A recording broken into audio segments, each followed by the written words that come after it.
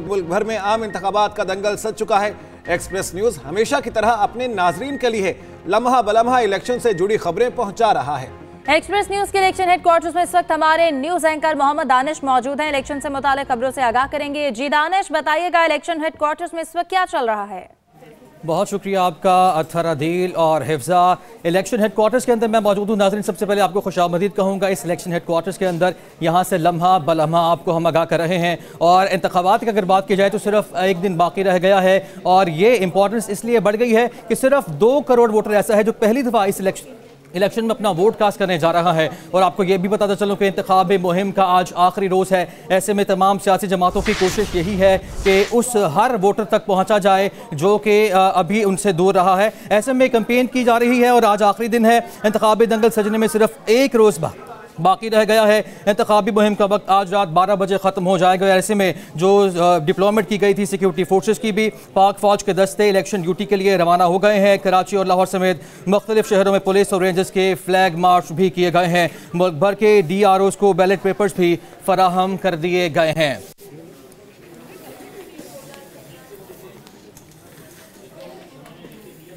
जैसे कि नाजरीन, आपको बताया कि इंतबी मुहिम का आज आखिरी रोज़ है। ऐसे में तमाम सियासी जमातें जो है वो फ्रंट फुल पर आ चुकी हैं, क्योंकि रात बारह बजे के बाद इंतबी मुहिम ख़त्म हो जाएगा। ऐसे में पार्टीज़ की बात की जाए तो मुस्लिम लीग नून ने खुटियाँ खास कसूर में अपना मैदान सजाया है। पाकिस्तान पीपल्स पार्टी की जानब से आज लाड़काना में पावर शो का इनका किया गया है, जबकि M Q M Pakistan Karachi के मुख्तलिफ़ इलाकों में रैलियाँ निकालने जा रही है। गुजशत रोज़ हमने देखा था कि पीपल्स पार्टी की जानब से कराची में रैली निकाली गई थी। बिलावल भुट्टो जरदारी की जानब से क़्यादत की गई थी। आज मितम इस्लाम फ़ेज़ आर डी आई खान में जलसा आम से खिताब करने जा रहे हैं। नाजरीन, एक दफ़ा फिर आपको इलेक्शन हेडक्वार्टर्स में खुश आमदीद कहेंगे। निगरान विफाक वजरा की जानब से आज न्यूज़ कॉन्फ्रेंस की गई। गौहर एजाज की जानब से कहा गया कि उनकी जानब से मुख्तलिफ़ शहरों के विज़िट किए गए हैं और सिक्योरिटी की सूरत हाल तसली बख्श। उनकी जानब से कहा गया कि कानून किसी को हाथ में लेने की इजाज़त नहीं दी जाएगी। उन्होंने ये भी कहा कि इलेक्शन के दौरान किसी भी जगह मोबाइल फ़ोन या इंटरनेट सर्विस बंद करने का फैसला नहीं हुआ है। नाजरन, इलेक्शन से जुड़ी खबरें ऑप्शन हेडक्वार्टर से जानी। अभी के लिए यहाँ से इतना ही। अभी आपको लिए चलेंगे मेन स्टूडियो जहाँ पे मेरे साथी एंकर अथरा दिल और हिफ्जा मौजूद हैं। ओवर टू यू गाइस बहुत शुक्रिया आपका दानिश। हमें अपडेट करने के लिए इंतबात की तमाम जो खबरें हैं, उस हवाले से जो गहमा गहमी चल रही है, उस बारे में अभी हम अपने नाजरन के साथ एक अहम खबर शेयर करेंगे। मोहसिन नकवी बिला मुकाबला चेयरमैन पीसीबी मंतखब हो गए हैं। मोहसिन नकवी ने चेयरमैन पीसीबी का चार्ज संभाल लिया। पीसीबी स्टाफ ने कजाफी स्टेडियम आमद पर मोहसिन नकवी का इस्तेकबाल किया। मोहसिन नकवी तीन साल तक चेयरमैन पीसीबी के अहदे पर फायज रहेंगे। इसी हवाले से तफसलात लेंगे। हमारे साथ हमारे नुमाइंदे यूसुफ अंजुम मौजूद हैं। जी यूसुफ अपडेट कीजिएगा इस तकर्री के हवाले से। यूसुफ अंजुम आप हमारे साथ मौजूद हैं तो बताइएगा मोहसिन नकवी बिला मुकाबला चेयरमैन पीसीबी मुंतखब हो गए हैं। बिल्कुल ना सिर्फ़ चेयरमैन पीसीबी मुंतखब हो गए बल्कि उन्होंने बाकायदा तौर पर पाकिस्तान क्रिकेट बोर्ड का ऑफ़िस भी संभाल लिया है। यूँ वो निगरान वजी अला पंजाब के साथ साथ चेयरमैन पी सी बी के अहदे पर भी जिम्मेदारियाँ निभाएँगे।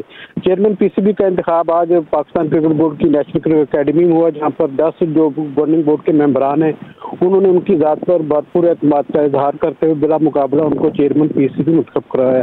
मुंतब होने के बाद जो इलेक्शन कमिश्नर शाह खबर उन्होंने मीडिया से बात करते हुए कहा कि चेयरमैन पी सी बी के इंतब के बाद अब वो बाकायदा तौर पर पाकिस्तान क्रिकेट बोर्ड के चौंतीसवें सदर चौंतीसवें चेयरमैन बन गए हैं।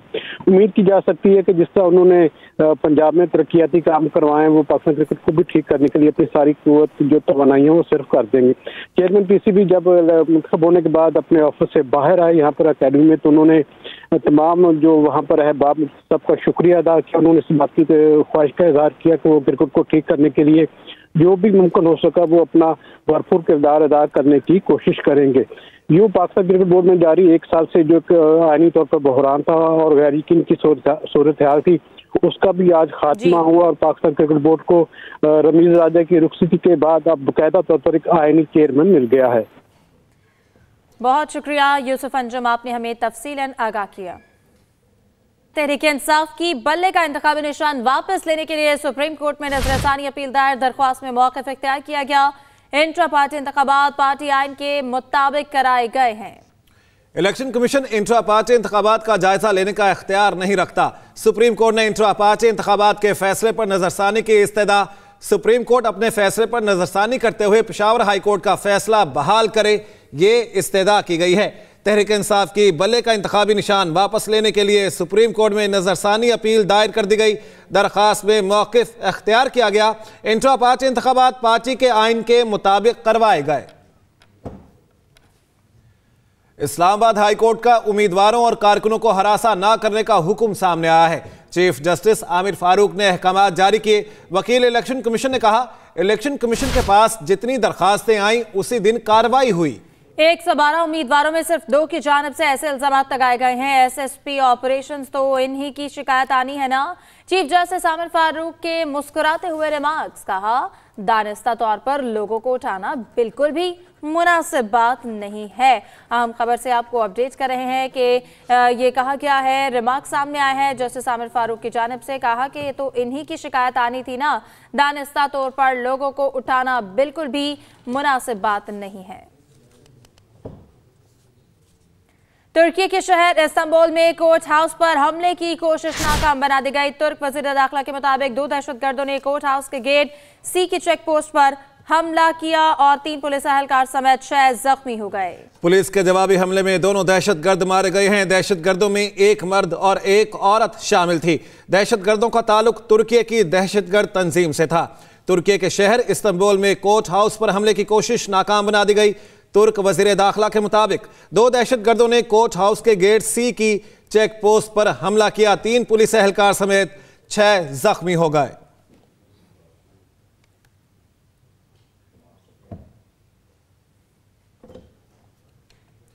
और अब आपको बताते हैं कि ओगरा ने गैस का औसत टैरिफ मजीद बढ़ाने की मंजूरी दे दी है। ओगरा ने दो फरवरी से सुई नॉर्दर्न के टैरिफ में पैंतीस आशारिया, एक फ़ीसद का बड़ा इजाफा कर दिया। ओगरा ने सुई सदरन के टैरिफ में आठ आशारिया, पाँच फ़ीसद का बड़ा इजाफा किया है। ओगरा ने इजाफे का नोटिफिकेशन मंजूरी के लिए वफाकी हुकूमत को भिजवा दिया है। ओगरा की जानब से यह समरी सामने आई है। ओगरा ने सुई सदन के टैरिफ में ये इजाफा किया है और ओगरा ने इजाफे का नोटिफिकेशन मंजूरी के लिए वफाकी हुकूमत को भिजवाया है।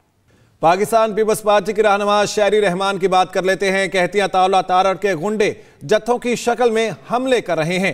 धमकी दी जा रही है कि तीर को वोट दिया तो आपको देख लेंगे ये कहना था शहरी रहमान का। लाहौर में न्यूज़ कॉन्फ्रेंस करते हुए उन्होंने कहा कि लाहौर और पाकिस्तान किसी की जागीर नहीं आवाम को वोट देने का हक है। N A one twenty seven जो है आप देख रहे हैं कि यहाँ तारड़ साहब के गुंडे फिर उनके अपने लोग, उनके पुलिस वाले सब साथ मिलके जत्थों में बार बार हमले कर रहे हैं टारगेटेड हमले कर रहे हैं। ये खूनी हमले बिल्कुल हमें अनएक्सेप्टेबल हैं और इस तरह इलेक्शन नहीं लड़ा जाता। आपको बताते हैं, मेरा कसूर है कि एमसी के किसो जाति मिरास नहीं बनना देना चाहता, उसके असासे के एम सी के ही रहेंगे। मेयर कराची मुर्तबा वहाब की जानब से न्यूज़ कॉन्फ्रेंस की गई। उन्होंने कहा कि कराची का सबसे बड़ा मसला ये है कि इदारों ने फैसला करना छोड़ दिया है। मेरे पास दो रास्ते हैं। या तो वो आमदनी में ले लूँ जेब में रख लूँ या direct subsidy direct relief Karachi Karachi के बच्चे बच्चियों को मिले। यानी कि मेरिट पे जो बंदा आया टेस्ट क्लियर किया उसकी जेब में पैसे नहीं है वसाइल नहीं है। वो बच्ची मुतवसत तबके के वो फ़ीस नहीं पे कर सकते। जो आजकल नर्सिंग स्कूल्स की फ़ीस है उसको हम पढ़ाएँगे। केएमसी पढ़ाएगी केएमसी का मेयर पढ़ाएगा। और वो लोग जिनका इंटरेस्ट अपने प्लॉट पे है अपनी ज़मीन पे है अपने घर पे है अपने अपार्टमेंट पे है वो लोग हमारे ऊपर इल्ज़ाम लगा रहे हैं। ये फैसला मैं कराची की आवाम के ऊपर छोड़ता हूँ। शहर कराची में तराजू के अलावा और कोई चॉइस नहीं। ये कहना है हाफिज रहमान का जो न्यूज़ कॉन्फ्रेंस कर रहे थे। अगर कराची के हालात को बदलना है तो तराजू के अलावा ऑप्शन कोई नहीं है। कराची शहर में अल्हम्दुलिल्लाह जमात इस्लामी इस वक्त सबसे बड़ी जमात के तौर पर मौजूद है। इस वक्त जमात इस्लामी सबसे मकबूल तरीन जमात है। और अब तो जो रिसेंट सर्वे आए हैं, उससे ये बात पता चल गई है कि जब पूछा गया कि आप किसको वोट डालेंगे तो जमात इस्लामी इस वक्त सबसे बड़ी जमात तो जमात इस्लामी ने गुलामी कभी इख्तियार नहीं की। जमात इस्लामी को जब मौका मिलता है तो काम करते हैं। इख्तियार नहीं भी होता तब भी काम करते हैं खिदमत करते हैं। बिलावल भुट्टो की इंतबी अहलियात सुप्रीम कोर्ट में चैलेंज शाह मोहम्मद जमान नामी शहरी ने बिलावल भुट्टो के खिलाफ सुप्रीम कोर्ट में अपील दायर की है। जहाँ सेब अब्बासी हमारे साथ है उनसे बात कर लेते हैं। जी जहाँ सेब क्या अपील दायर की गई क्या कहा गया? देखें सुप्रीम कोर्ट में ये दायर की गई इस अपील में ये मौकफ इख्तियार किया गया है कि बिलावल भुट्टो पाकिस्तान पीपल्स पार्टी के चेयरमैन हैं। उनका इंतबी निशान तलवार है। जबकि बिलावल भुट्टो इंतबात में पीपल्स पार्टी पार्लियामेंटेरियंस के टिकट पर तीर के निशान पर हिस्सा ले रहे हैं और एक्ट के तहत कोई शख्स बैक वक्त दो जमातों का मेंबर नहीं रह सकता। सिंध हाई कोर्ट ने कानून का दुरुस्त जायजा नहीं लिया। सिंध हाई कोर्ट का फैसला कलदम करार देते हुए बिलावल भुट्टो को तीर के निशान पर जो इलेक्शन लड़ रहे हैं, उनसे रोका जाए, क्योंकि बिलावल भुट्टो जरदारी वो जो है वो जिस जमात के पीपल्स पार्टी पार्लियामेंटेरियन के चेयरमैन हैं उनका इंतबी निशान तलवार है जबकि जो इंतबात में बैलेट पेपर पे उनका जो इंतबी निशान दिया गया है वो तीर है। जी। ठीक है बहुत शुक्रिया इस बारे में अपडेट करने के लिए। इस न्यूज़ बुलेटिन से अब तक इतना ही। बाखबर रहने के लिए विज़िट कीजिए एक्सप्रेस डॉट पी इसके अलावा आप हमें फेसबुक और एक्स पर भी फॉलो कर सकते हैं तो देखते रहिए एक्सप्रेस न्यूज़ और रखिए हर खबर पर नज़र।